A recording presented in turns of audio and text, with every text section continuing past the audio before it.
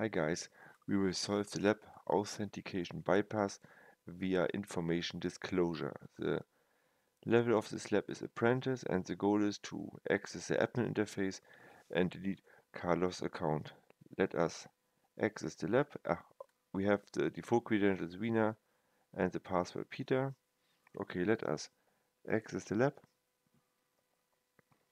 First make sure that you proxying your traffic through Burp and in Burp deactivate the intercept is on button. Switch back to your browser, click in the address bar and try to access the admin panel, admin, and you see admin interface only available to local users. Switch to Burp and open the HTTP history tab and look for get request to the endpoint slash admin, send this request to Burp repeater and click the send button.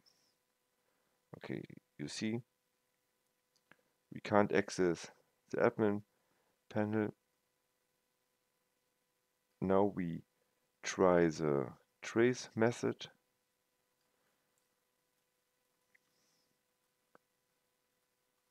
Trace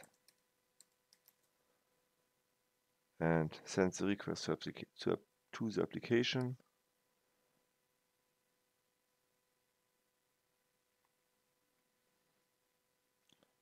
Inspect the response and you see there's a custom HTTP header.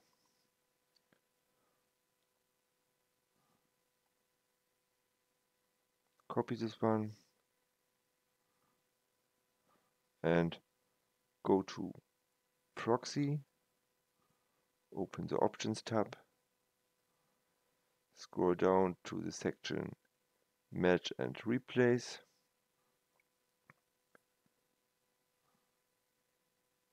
click the add button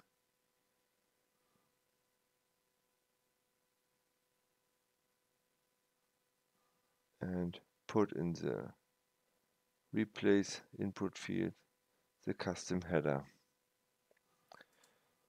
Add the local host address 1.